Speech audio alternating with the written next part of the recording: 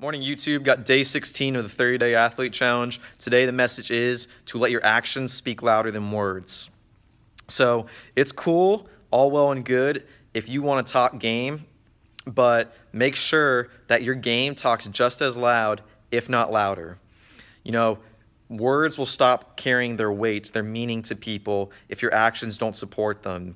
And so that's where you need to go out there, and this is just the common idea. You can talk the talk, but if you can't walk the walk, no one's going to pay attention to you. So keep that in mind. Go out, have a great weekend, and we'll see you here tomorrow.